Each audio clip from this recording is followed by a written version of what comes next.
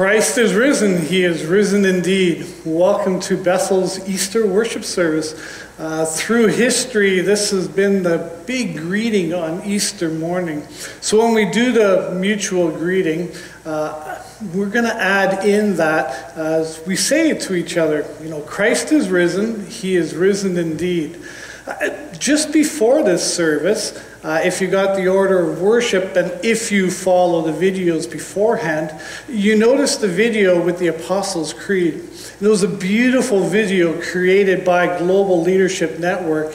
And it just reminds us that on this day, especially, that we are members of a global, worldwide church. A church that is not only through, through time and space, but, but is also connected with heaven as well. Uh, it is a church victorious, but also a church that is still militant, a church, uh, we would say, that is still engaged in, in expanding the kingdom and, and in doing God's kingdom work here. And Easter reminds us that Jesus is king, Jesus is a victor, and that no matter what is going on in the world today, you know, it's going to be okay. Uh, because God is in control. Uh, and Jesus defeated uh, not only his enemies, but he defeated death itself. So you've come across uh, Bethel Church here in Lacombe. If you are a guest watching this morning, welcome. We pray that you will encounter Christ this morning as we worship and praise him. we are a church who who follows Jesus as best we can. We love each other. We serve our community, even in times like this. Uh, our deacons and our different ministries are, are doing so many things and connecting with our community and serving. And we love talking about Jesus as well. So let's begin our worship by, um, by praying. So if you have an order of worship with you, follow along. If you don't, uh, let's come to our Lord in prayer. God of life, we praise you for the miracle of Easter. We pray for great joy for ourselves and for all who come to worship today to celebrate Jesus' resurrection. But we pray especially for those who will join us for worship and whose lives are filled with pain, loss, or deep sadness. Lord, may they sense how the resurrection is a source of great hope still today. And we pray this in Jesus' name. Amen. And our call to worship is, is, a, is a joint call to worship. So, so I will invite you to turn and we shall do this together. So, this is the good news the grave is empty, Christ is risen. We say together, Hallelujah. This is the good news. The light shines in the darkness, and the darkness can never put it out. We say together, Hallelujah. And this is the good news. Once we were no people, now we are God's people. And again, Hallelujah. Christ is our peace, the indestructible peace we now share with each other. And we say together, Hallelujah. God's greeting is also, we do it together. So, grace and peace from Jesus Christ our Lord. And we offer it to, to each other and also with you. So, sisters and brothers in Christ, on this most holy day, when our Savior Jesus Christ passed from death to life, we gather with the church throughout the world in vigil and prayer. So let's say together this is the Passover of Jesus Christ. Through light and the word, through water and the bread and wine, we recall Christ's death and resurrection. We share Christ's triumph over sin and death with invincible hope, we await Christ's coming again. Hear the word of the Lord. In the beginning was the Word, and the Word was with God, and the Word was God. In him was life, and the life was the light of all people. The light shines in the darkness, and the darkness has not overcome it. So I invite you to turn to those you are worshiping with and offer them that Easter greeting Christ is risen, and then respond, He is risen indeed. So Christ is risen. He is risen indeed. This is the most joyous day of the church uh, celebration. We often look at uh, Christmas as being the high holy day, uh, but this is a day where, where Jesus has, uh, has been risen from the dead. He offers new life, and he offers us hope. Hope in, in, in certainty that no matter what is going on in life today, uh, that Jesus can overcome it. So we have a hymn of joy. We're not going to sing it, but instead we'll, we'll sing it. And again, it's a litany that we do together. So rejoice, heavenly powers. Sing, choirs of angels. Exalt all creation around God's throne. Jesus Christ our King has risen. Sound the trumpet of salvation. And we say together, Rejoice, heavenly powers. Sing, choir of angels. Jesus Christ our King is risen. Rejoice, O earth, in shining splendor, radiant in the brightness of your King. Christ has conquered. Glory fills you. Darkness vanishes forever. And together, rejoice, heavenly powers. Sing, choir of angels. Jesus Christ, our King, is risen. Rejoice, O Mother Church. Exult in glory. The risen Savior shines upon you. Let this place resound with joy, echoing the mighty song of all God's people. And together rejoice, heavenly powers. Sing, choirs of angels. Jesus Christ, our King, is risen. Amen. I love that word, Amen. It means, so let it be. And we confess our faith. And our faith is, is something that is certain. It's something we have no doubts about. And we'll reflect on that in the sermon as well. The, the certainty, the, the reason why we can be certain of our faith, of why, uh, that Jesus has risen from the dead. But we take this Easter confession of faith, and again, we do it back and forth together. So we confess Christ died for all, in order that they who are alive may live no longer for themselves, but for him who died for them and rose again. Together, thanks be to God, who has given us the victory through our Lord Jesus Christ. If then any are in Christ, they are a new creation. The former things have passed away. Behold, they're made new. Together, thanks be to God, who has given us the victory through our Lord Jesus Christ. For God, who commanded light to shine out of darkness, has shone in our hearts to give enlightenment concerning the knowledge of the glory of God shining on the face of Christ Jesus. And together, thanks be to God, who has given us the victory through our Lord Jesus Christ. For you were once darkness, but now you are light in the Lord.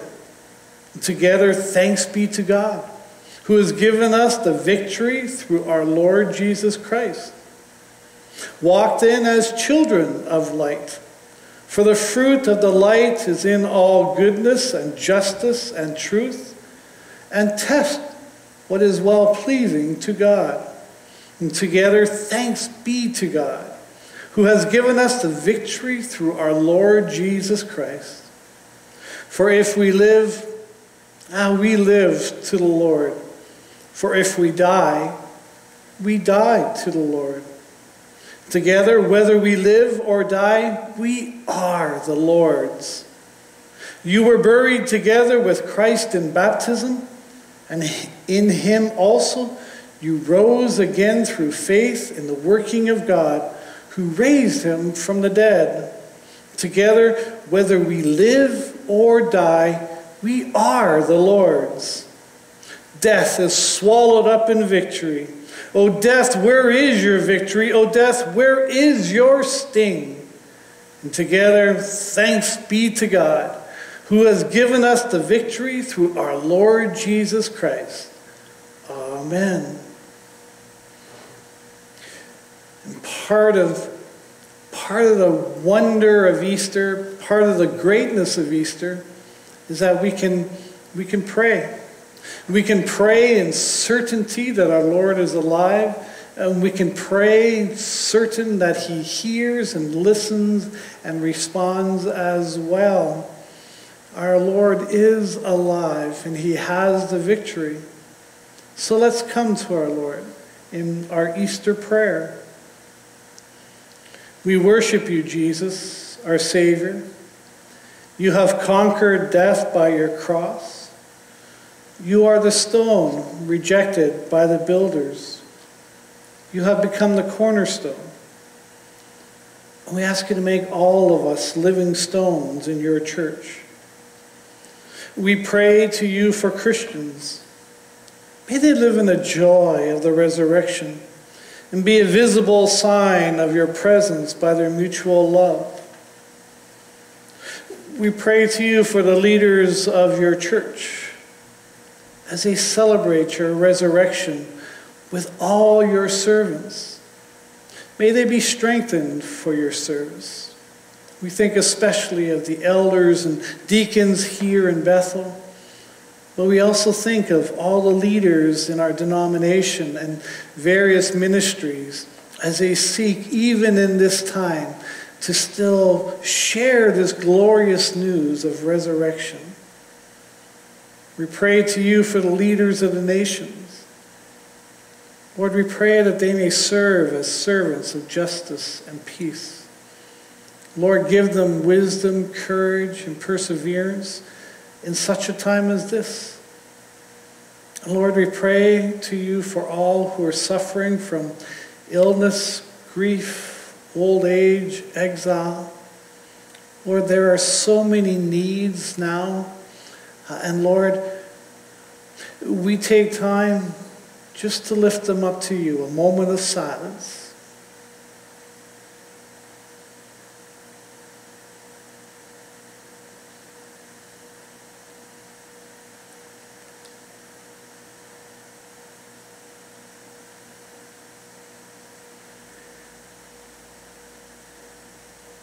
Give thanks for all those who are, are working so hard to serve, to serve in, in places where, where they are placing their health on the line. We think of especially the doctors and nurses. We pray that you will give them strength and endurance, but also peace and calmness of heart. We think of those who are serving us in the stores, those who are, are serving on the farms and, and in all the businesses that are still open. Uh, Lord, every business, every, everyone is being affected by this. So, Lord, there are again so many prayers that we offer, and you know them. You know the words that are on our tongue even before we speak them. So we ask at a time like this, may your resurrection be a source of comfort and aid for us all. We pray this in Jesus' name. Amen.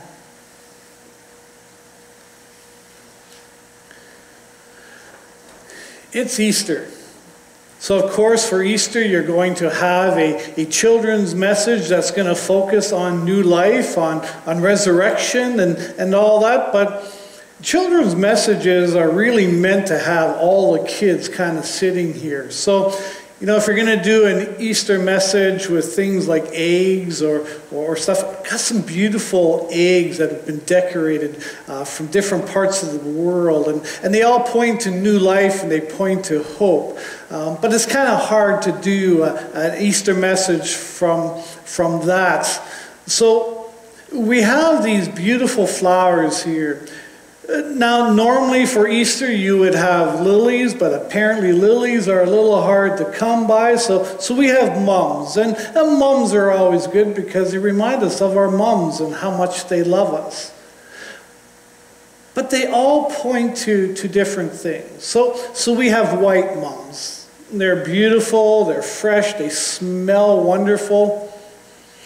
Mm, if you have some at home, whether lilies or, or mums, you know, just just hold them, just smell them, and just wonder at, at how pure and white and green, and they remind us of, of, of purity. And you know, when Jesus rose from the grave, that was a sign to, to the world that God accepted Jesus' sacrifice on Good Friday on the cross, that He's washed our souls and our hearts and, and wash them clean from sin makes us pure as well. Now, a lot of these plants, for them, in, for them to grow, they, they start off as a bulb, and it's kind of a, an ugly bulbs, and, and they're brown, and they're all kind of wrinkly and everything else. And, and you put them in the ground, and, and then you take care of them, and you kind of uh, water them, and, and and then, as the weather warms up, as the sun starts beating down and the snow begins to melt, out of that cold, dry earth, as the snow waters the ground, life begins to stir. And slowly, roots start coming out of that bulb that looked like it was dead, and they begin to kind of spread out and and then all of a sudden, you'll get a, a green sprout. And, and then it'll grow and grow and grow and grow until you have these beautiful flowers. And in a way, that's like our faith. Our faith starts like a little seed, is what Jesus says. But then you water it, and you water it by, by reading the Bible, by praying, by going to Sunday school and treasure seekers. Uh, the older kids, they, they grow their faith, they nurture it, they water it through, through gems and cadets and through young people. And, and the church, we nurture it by pouring into you, by teaching you and walking alongside you. And we grow. And we grow in our faith we grow stronger in, in our knowing that Jesus is our Lord and Savior, that He is risen from the dead, and that our sin is buried with Jesus as well, that we have new life. And now you might say, how do we have new life? You know, we're, we were born as babies and we only have this one life. But, but when Jesus talks about new life, he says, you know what? You put all the old stuff that you did wrong and that, that, that makes God unhappy, and you put that behind you. That goes buried into the grave with Jesus.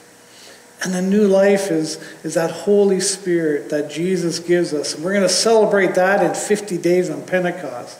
But, but then Jesus just works in our hearts and he works in our minds and, and, he works in our lives so that we become more and more like him.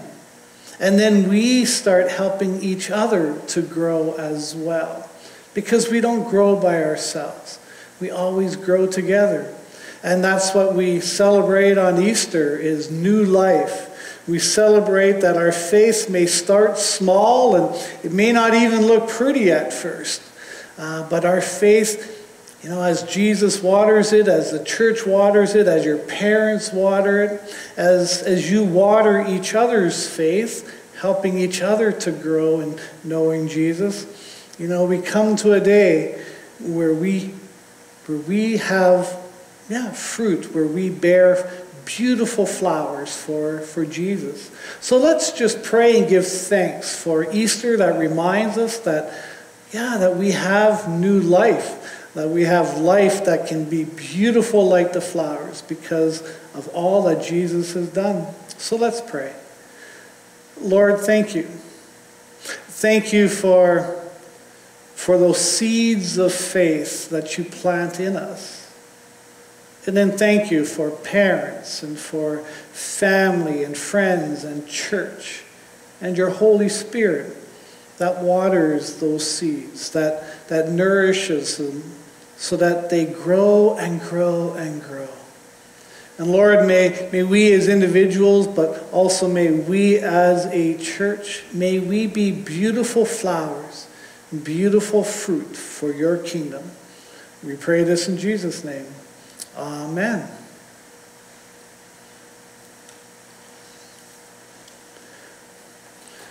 And now we come to the Easter story. And the Easter story that we're reading this morning comes from Matthew chapter 28. We're going to look at the first 10 verses. Now, you can get your Bibles, uh, give you a moment, and I'm going to take a drink of water. Um, you may have, we're using the NIV, and I'm using the 2011 edition, but you may have an earlier edition. You may have a different version, uh, completely different, but that's okay. The story is, is told, and, and it may use slightly different words, but we know the message.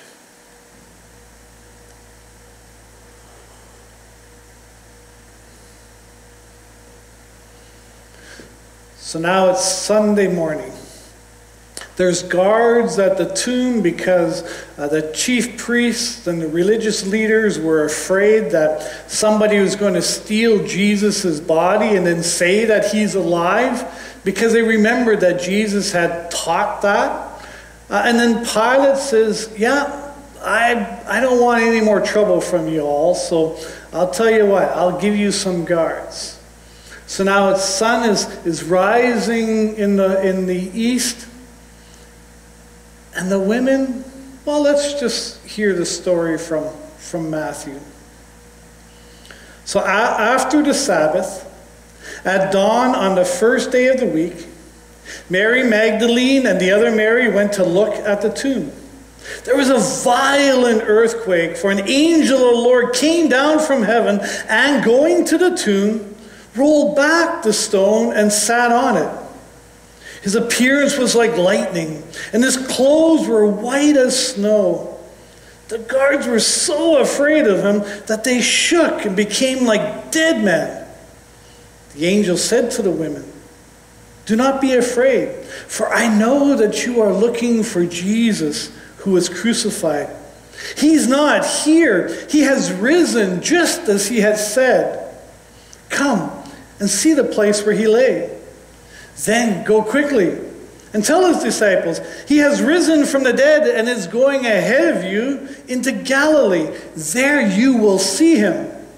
Now, I have told you. So the women hurried away from the tomb, afraid and yet filled with joy, and ran to tell his disciples. Suddenly, Jesus met them. Greetings, he said. They came to him and, and clasped his feet and worshiped him. Then Jesus said to them, Do not be afraid. Go and tell my brothers to go to Galilee. There they will see me. The word of the Lord.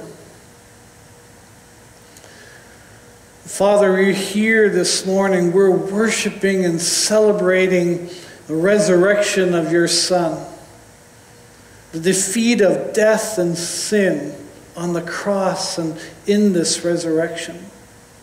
Lord, the, the, prayers, the scripture that we've read, the worship that, that we've already engaged in, may that, may that shape us and form us more and more into who you've created us to be.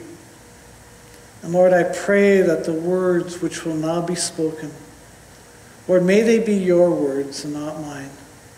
We pray this in the name of our, our risen Savior, Jesus Christ. Amen. So it's Easter. Christ is risen. He is risen indeed. That's how the church has greeted each other since since that first Easter. But that first Easter wasn't a huge celebration at first. It comes after a, Saturday. A Saturday, a Sabbath for, for the Jews, where they mourned, where they were wondering, you know, we've invested our lives into Jesus. You know, we've been following him, we've been listening to him, and, and we had so much hope. Hope for the world that he was going to create, that he was going to bring. And now he's gone. What, what's left therefore, for us? And yet, we we have the opportunity to look back. And we know that, that since that first Good Friday, since that, that first Easter, the world has never been the same again. Everything has changed because of, because of Good Friday and because of Easter. First Easter was a crazy kind of a, a, a day after a crazy kind of a weekend. Everyone's now waiting to see what's going to happen both enemies and friends of Jesus. And it's funny to me that as you read the story, the, the enemies are actually way more prepared for what's coming than, than Jesus' friends are. You, you have the, the chief priests, they make sure that there's a guard set on the tomb, that, that the tomb is sealed. There's, there's a seal put on there so that if that seal is broken, then the people are in trouble because then they've disobeyed the government. And, and they're ready for something to happen. They're just not quite sure what.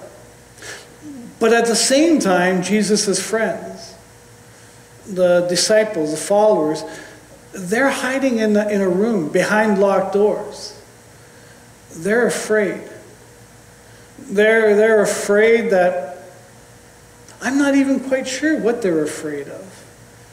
But fear has just kind of gone deep into their hearts. Maybe they're afraid they're going to be persecuted. Maybe they're afraid they might have to die. But they sit there and they wait and they wonder.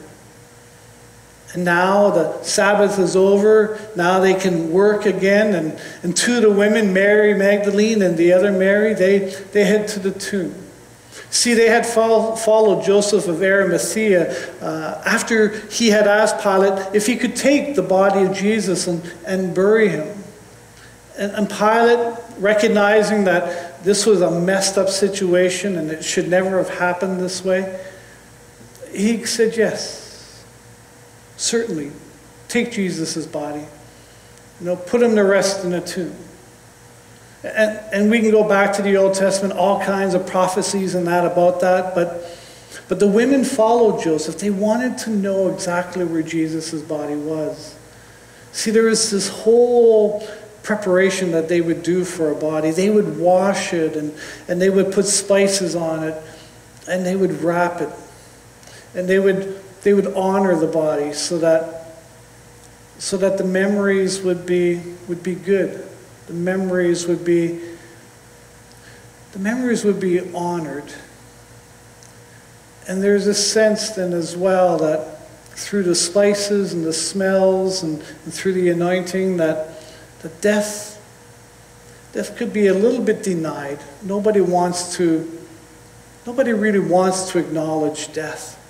So we do all these rituals to, to soften the grief. And that's what that's what's going on here as they head to the tomb. So the sun is peeking just above the horizon, and, and they head off to, to see Jesus in the